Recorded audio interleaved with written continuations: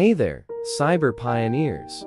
Welcome to Networking Online Business, where we decode the mysteries of the digital realm. I'm your host, Charles, and today, we're tackling a topic that's hotter than a cat video on a Sunday afternoon networking online business.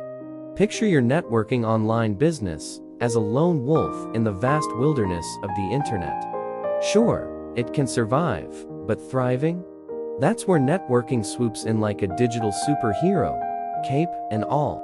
Now, I know what you're thinking. Why bother schmoozing online when I can be binge watching cat videos?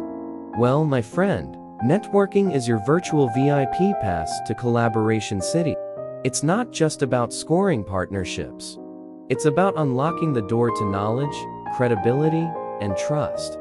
It's like building a digital Avengers team for your business, minus the spandex, unless that's your thing. So, how do you become a trusted source of networking online business? Start by cruising the social media highway. LinkedIn, Twitter, and Facebook aren't just for oversharing memes. Attend virtual events. It's like Comic Con for your industry minus the cosplay pressure. Maintain an online presence that screams, I'm not a bot. I'm a business boss. And remember, offering value isn't just for altruists, it's your golden ticket to becoming the master of your niche.